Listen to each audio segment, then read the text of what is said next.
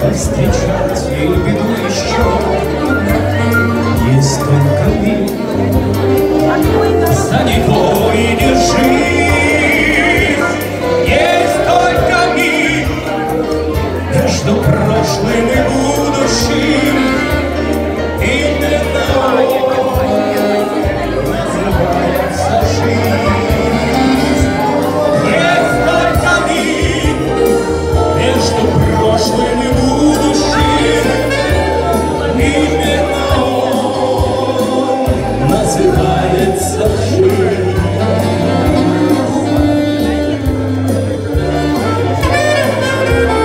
Спасибо вам за помощь. Спасибо.